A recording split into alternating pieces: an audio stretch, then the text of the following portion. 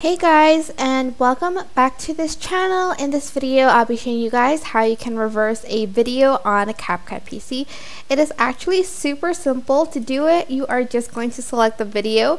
You can also right click it and select edit and then select reverse or it's easier to just select it and then click this button right here. So make sure you select the clip or else the option won't be there. Select it and choose reverse and wait for CapCut to reverse the clip and that's pretty much it. It is super simple to do, but I hope this tutorial was helpful for you guys.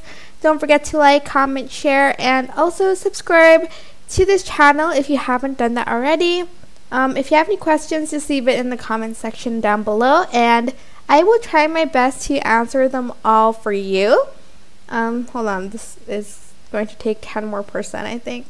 So we're just going to wait for that. We're just going to play this before we end this video. Thank you so much for watching. Bye!